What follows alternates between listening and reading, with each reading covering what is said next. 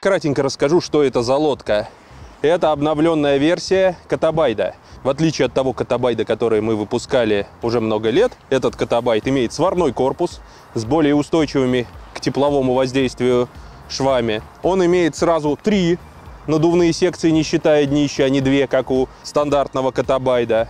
И он будет способен штатно перемещаться в глиссирующем режиме под моторчиками до 5 лошадиных сил. Катабайт 1, то есть длина 360. Впоследствии будут сделаны и другие размерности, то есть двоечка и троечка. Здесь еще не установлен интерцептор на днище, который обеспечивает правильное перемещение в глиссирующем режиме. Поэтому мы сейчас будем обкатывать под Ямашкой двойкой в водоизмещающем режиме. Это же не по крафт. Тут можно уже по-взрослому садиться-то, ё-моё.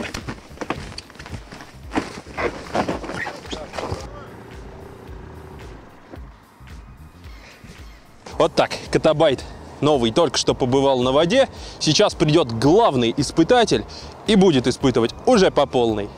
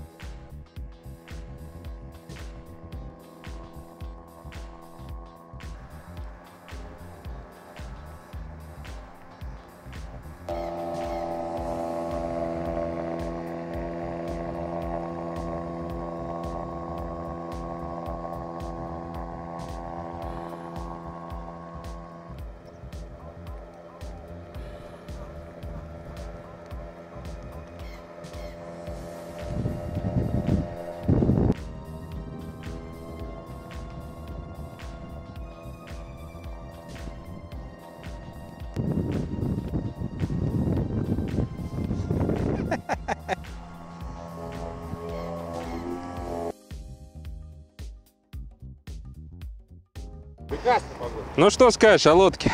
Слушай, да на самом деле, учитывая, что первый раз гребу не распашными веслами, вполне тер- терпимо. А под мотором? Ну, слушай, под мотором вот реально хотелось еще вперед сдвинуться. Ну, если цептор-то будет, он же будет А вот это, если цептор-то будет, то да, то будет вообще весело. то он и нос прижмет, и линия увеличится. В водоизмещенке, я думаю, он 13-14 попрет под двушкой. Когда в начале ролика я сказал, что мы лодку будем испытывать только под двушечкой и водоизмещающем режиме, я ошибался. Ну, тут я ничего не мог поделать. Вот тут вот форс-мажорное обстоятельство стоит, которое вот его хлебом не корми, дай чего-нибудь неположенное повесить на что-нибудь маленькое. Не повторяйте это. Это профессионал. Он делает это на свой страх и риск. Это 10 лошадиных сил на катабайде единичке. На экспериментальном, неиспытанном 10 лошадиных сил.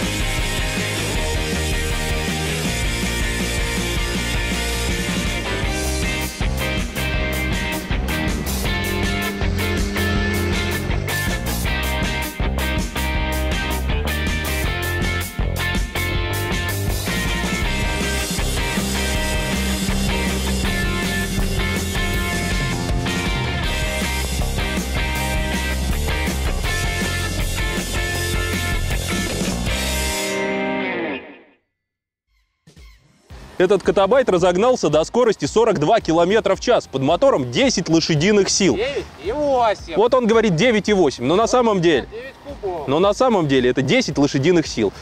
Под двумя силами все более-менее чинно, более чем чинно, я бы сказал. Вообще, троечка просится на троечке поднимет, поднимет на троечке. На.